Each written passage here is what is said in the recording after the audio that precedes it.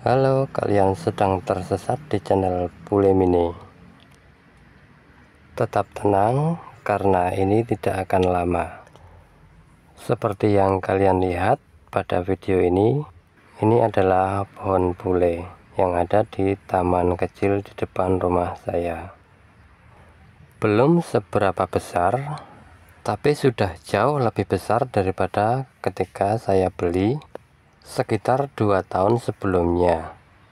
Waktu itu masih kecil sekali karena ia merupakan cabang kecil yang dicangkok. Waktu itu saya beli dengan harga Rp50.000. Berawal dari keinginan saya ada satu pohon bule di taman kecil di depan rumah. Dalam bayangan saya itu akan terlihat cantik dan keren sekali tapi ternyata pohon bule yang saya bayangkan itu harganya cukup mahal untuk ukuran saya. Akhirnya saya mengurungkan niat saya untuk meminang pohon bule. Sampai pada suatu hari saya menemukan pohon bule ini ketika saya datang di sebuah nursery. Ada tiga bibit pohon bule yang ditawarkan Ukurannya berbeda-beda dan harganya juga berbeda. Ketiganya merupakan hasil cangkok. Yang paling besar dilabeli 75.000, yang tengah 60.000 dan yang kecil 50.000. Dan kalian tahu saya pilih yang mana? Saya pikir tak apalah saya beli pohon bule yang kecil.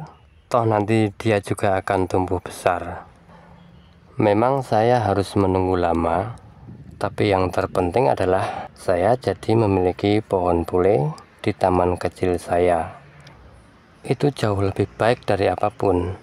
Nah, ketika pohon bule kecil itu saya bawa pulang dan saya tanam di area taman kecil saya, saya tertawa. Dia hampir tidak memberi dampak apa pun bagi taman kecil itu.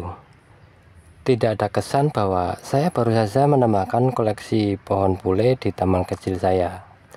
Ketika saya mengatakan itu pada istri saya, dia mengatakan, "Sudahlah, biar Mini juga bule."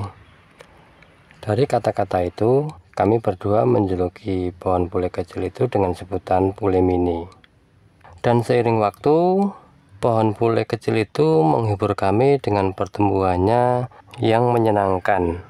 Setelah beberapa waktu, tunas-tunasnya bermunculan dan cabangnya terus bertambah. Sangat menyenangkan mengikuti pertumbuhannya, mengingat bahwa ia adalah pohon bule yang sangat kecil ketika saya pinang dari nursery. Dari pohon bule ini pula saya mendapatkan inspirasi nama channel saya yaitu Bule Mini. Itu tadi sedikit cerita saya tentang pohon bule yang merupakan salah satu koleksi di taman kecil saya dan yang juga merupakan inspirasi dari nama channel saya. Terima kasih untuk semua perhatiannya. Jangan lupa like dan subscribe.